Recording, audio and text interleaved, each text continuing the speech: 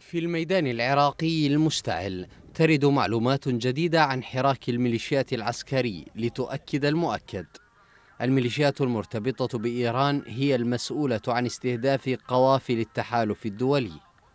خرج بهذا التصريح المتحدث باسم قوات التحالف العقيد واين ماروتو حيث نسب جميع الحوادث التي تعرضت لها قوافل التحالف إلى ميليشيات الحشد مدفوعة بالتخطيط والتدبير الإيراني في خضم صراع النفوذ على العراق. العقيد واين ماروتو يريد من حكومة الكاظمي أن تتحمل مسؤوليتها تجاه هذه الهجمات وتعمل على إيقافها وهذا يتقاطع مع التحذير الجديد للسفارة الأمريكية في بغداد عندما أخطرت الحكومة في العراق بأن القوات الأمريكية من الآن وصاعدا سترد بقوة على أي هجوم تتعرض له من قبل الميليشيات.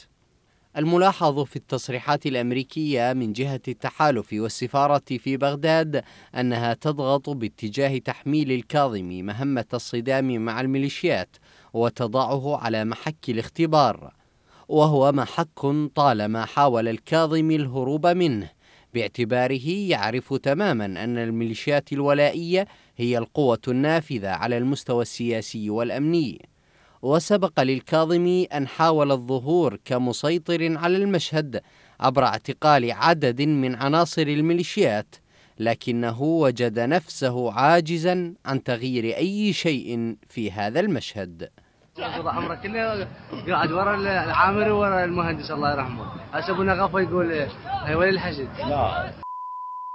توانك ولي الحشد؟ تقريب والله يطب لك بالشفا. ويبدو أنه كما أن إيران تريد حربا بالوكالة في العراق كذلك أمريكا تريد أطرافا من الحكومة لتتولى مهمة التصادم مع الميليشيات. حيث أن مهمة تفكيكها لا تقتصر على ضرب مقراتها وشن حرب شاملة عليها تؤثر على مستقبل العملية السياسية المرضي عنها أمريكيا وإيرانيا. المشهد العراقي الحالي مطلب أمريكي وإيراني ولكن ثمة تفاصيل فيه يختلف عليها الطرفان ويحاولان إيجاد طريقة لحل تلك التفاصيل. دون أن تؤثر على المشهد برمته.